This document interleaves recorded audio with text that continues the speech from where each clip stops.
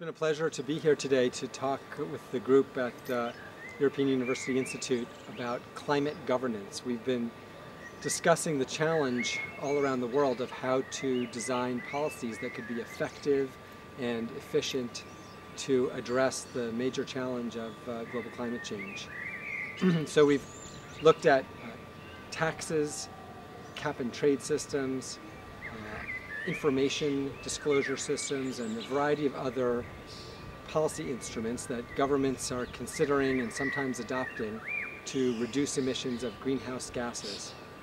It's really a pleasure to be with a group of students, who, uh, participants who come from a variety of organizations uh, across Europe and internationally, uh, different uh, public and private sector entities and uh, research institutes, uh, and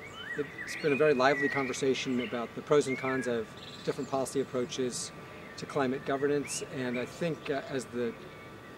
conference goes on beyond the first day today, we're going to see even more interesting contributions from the participants about their own insights from their own work.